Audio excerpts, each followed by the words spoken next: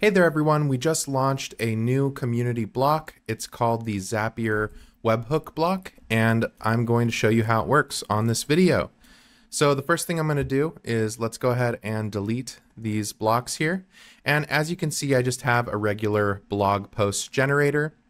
I have my automations that uh, take in the topic and generate the blog post. Now let's say I wanted to collect an email and then I wanted to send that email over to my MailChimp list. Well, we can do that using the Zapier webhook block. Let's go ahead and start building. The first thing I'm going to do is collect input. So I'm going to say enter your email and we can save this as variable named email.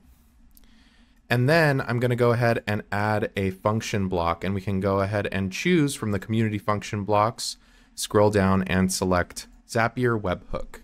You can see the block is here and on the right hand side, the things we need to configure are the Zapier webhook URL and the input, the data we want to send over to Zapier. In this case, all we're going to be sending is an email, but you can send any variable you'd like or any text you'd like over to Zapier. So in this case here, we have our variable email.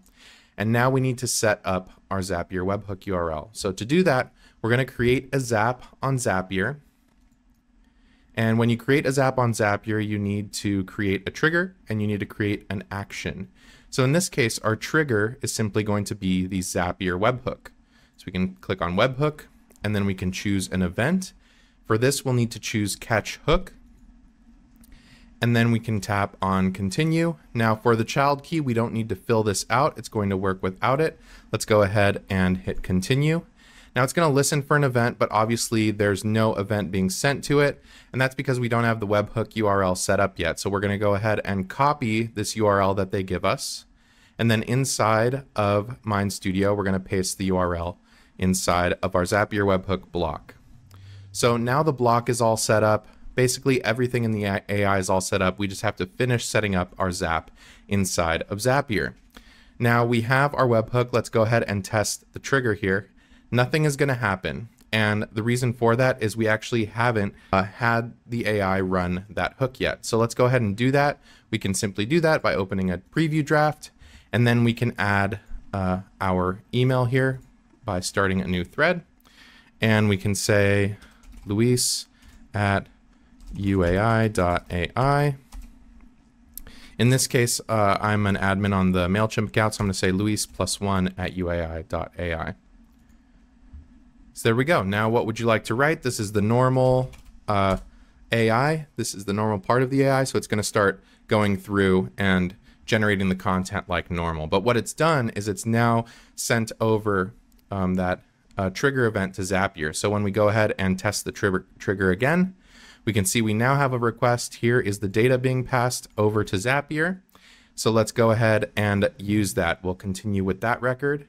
And now we need to choose an action event. So in this case, I'm going to add that email to my MailChimp mailing list. So when we have MailChimp, it's going to ask you to sign in. I'm already signed in. Then you can choose uh, event. And in this case, we're going to add an update subscriber here. So we can continue and we'll choose our account here. Here we go. Now we can continue and we have to choose our audience. In this case, we have an audience called Mind Studio Test. And we need the subscriber email. Now the email is going to be that data that we pass through here and it's showing up via the webhook here. So there we go. It's all set up. We can choose to configure all of these other options and you may have other inputs that require you to go ahead and update the other values in here. But for now, we're going to tap continue and you can see the emails being passed through. Let's go ahead and test this step to make sure that it's sending a new subscriber to MailChimp.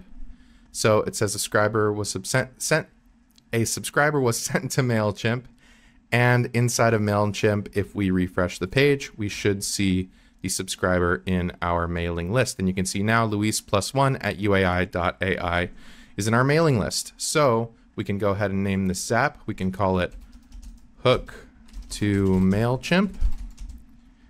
And we'll go ahead and publish the zap.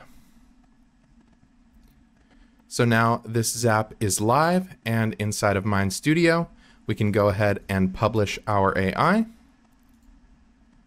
And now when we start a new thread, let's say Luis plus 99 at youai.ai, we can tap on next. And in this case, we'll make our blog post about cats, but it's already sent the trigger event to Zapier, and we've already gotten a new subscriber to our mailing list.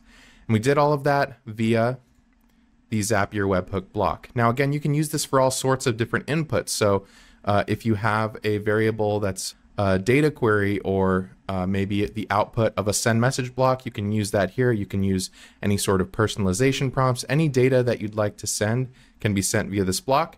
And then additionally, if you want to configure it on your own, you can always go into the Zapier webhook block, change up the code however you see fit. Let's go ahead and check back in. Let's refresh the page and we will see that indeed Luis plus 99 is now inside of YouAi. So this is just the beginning. Obviously, later on, we are going to have different kinds of blocks that do integrate to all these services. But the Zapier webhook is a good start, and Zapier connects to all sorts of different services that you can try using out uh, for yourself. So that's it. I hope you found this helpful. Uh, please let us know if you have any questions or suggestions, and we'll see you next time.